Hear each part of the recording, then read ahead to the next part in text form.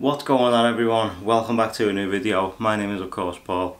Now this is exactly what I said to you in yesterday's video of something that I wanted to talk about and it's carrying on from the video of where I nearly died, what I was explaining to you.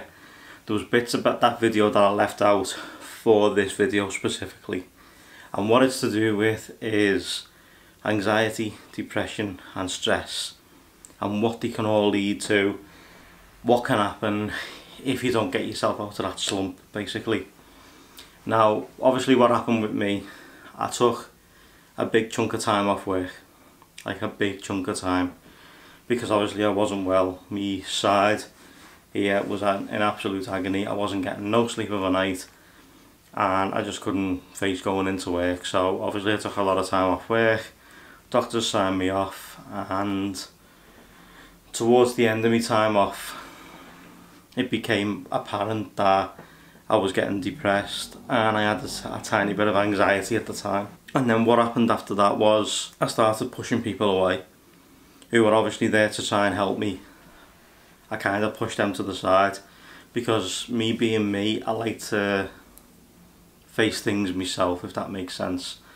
I like to, I don't really tell people anything like this vlog like type of thing is the most I've probably told anyone because what I tend to do is I keep everything inside, keep it bottled up and then I have a big thing where I'll explode and it's just that's no good for no one. So I've had to try and control that and bring the best out of myself. Now I'm kind of lucky in a way that I've got a wife who's very very supportive. And you know at the end of the day I pushed her away for a good couple of months and you know she could have left but she chose to stay, stick around, she helped me get through it and I think we're a much stronger couple for it now but that being said, you know, the stress, the, depression side of things, the anxiety. The depression was me not wanting to get out of bed of a morning or even like during the day, me not wanting to get out of bed, me not wanting to do nothing, not even go outside. I used to spend days in bed just literally watching the TV. You know, that's a big sign of depression. I'd go and buy stupid things on Amazon. I've spent money in the past that I didn't have to get something that'd make me feel good for a couple of hours. And obviously I went a bit nuts on a few things and I'm a bit, well, I did become a bit skint, shall we say. But I was doing that to get that fix, that fix of happiness, that's what I was doing it for. And then there was the anxiety side of things where obviously going outside and seeing other people was getting me anxious the phone ringing was getting me anxious. It was just, it was like, snow, like a snowball effect. Everything became on top of me and it was just too much. And then there's the stress of everything, of when you go back to where people are asking you questions you probably don't want to answer. And I'm not that type of person that I don't tell no one, not I mean I do tell people certain things but not everything.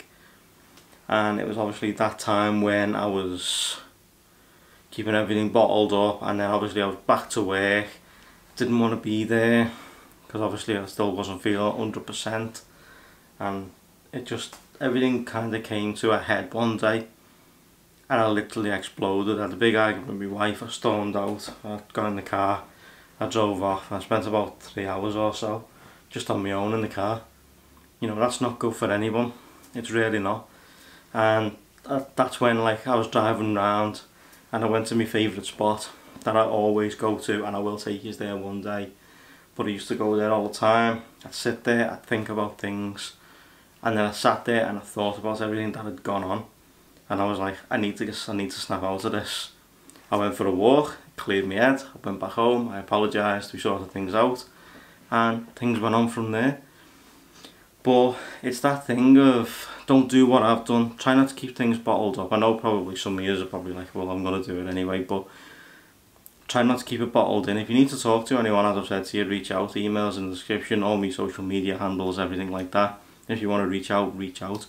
There's obviously certain people that have got to a stage where it has got too much and they've done something stupid. But don't let it get that far. You know, go and talk to someone, come and talk to me, come and talk to anyone anything you want to talk about, we'll talk about. It doesn't have to be about the depression side of things. It can be just a, a general conversation can help you snap out of it. But that's what happened with me when I got sick. Now, I know now that if I was to get sick again, touch wood I won't, but if I was to get sick again, I know I can turn to my wife for support. I know I can turn to my mum and dad for support. I can go to friends for support. I know I can do that now. Whereas back then I didn't know I could do that. My mind was still focused on, I can do this myself. Whereas it shouldn't be that way. There's people out there who will listen to you, who will sit down and talk with you as I say, it doesn't have to be about what you're going through. It can just be a general conversation about anything. And people will sit there, you can talk about it, and it will take your mind away from what's going on. Now, I still suffer with a tiny bit of anxiety, I will admit that.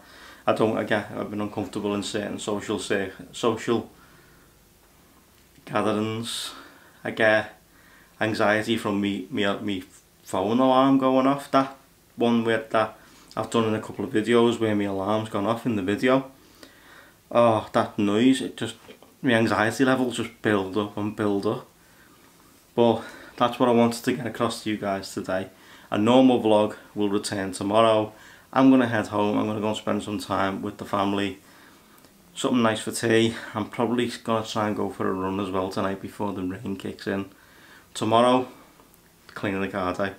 So, guys have a good day enjoy the weekend and I'll see you all first thing in the morning for another daily vlog but don't forget please talk to someone. Don't let it get that far. There's lots of people out there who care about you you can talk to. I've learned the hard way. Please learn from my mistakes. Guys thanks for everything. I'll see you all tomorrow. Don't forget to give this video a thumbs up for me. Subscribe for more videos to come. Hit the bell so that you're notified when I post a new video. And I'll see you all tomorrow guys. Take it easy. Did you see yesterday, by the way, where I missed twice? I went that way, and then I went that way, and then covered it with my hand so that the corner was still showing, but you could still, like, see me. Stupid. See you tomorrow, guys.